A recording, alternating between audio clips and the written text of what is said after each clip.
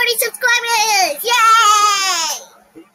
Yay, help us reach our next goal, which is 50 subscribers!